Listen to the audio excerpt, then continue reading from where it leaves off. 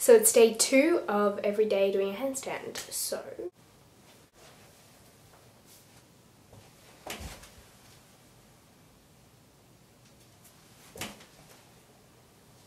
see you tomorrow.